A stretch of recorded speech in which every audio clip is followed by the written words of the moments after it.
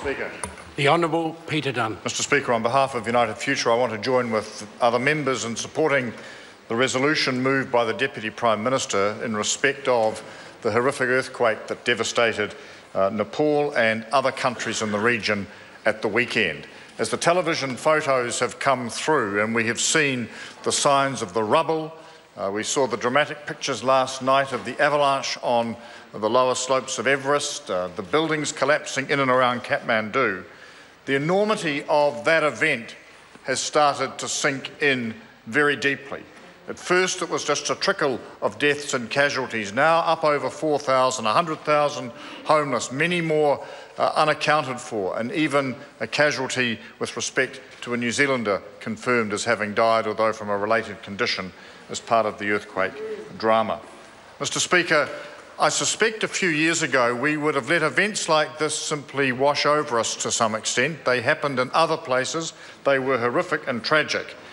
But ever since the events in Christchurch, they've taken on a new significance for New Zealanders because we know, maybe at a smaller scale, what the devastation can be, what the uprooting of societies is as a consequence, and consequently what the need for reconstruction and assistance at times of trouble uh, can be as well. Mr Speaker, I support the initiative taken so far by the government in terms of financial assistance.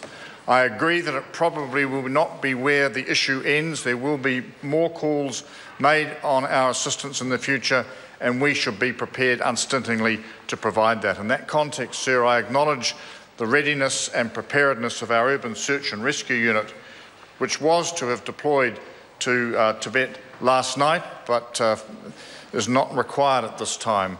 Mr Speaker, those people gave up uh, their weekend at short notice to be ready to go and, sir, that is what we would expect of them, and I acknowledge their preparedness and their contribution. Mr. Speaker, uh, all of us would share a sense of deep horror at the unfolding events. We wish a I was going to say speedy, that's probably inappropriate, but a, a, clear and quick return to a sense of normalcy in Tibet. We hope that the deprivation that has been evident in recent days uh, can be placed under some control and we look forward to working with the international community to restore the tradition of that proud country and to strengthen further the links between our two nations as we help them recover from this tragedy. The question is that the motion be agreed to. Those of that opinion will say aye. To the contrary, no. The ayes have it. Point of order, Mr Speaker. A point of order, the Honourable Anik.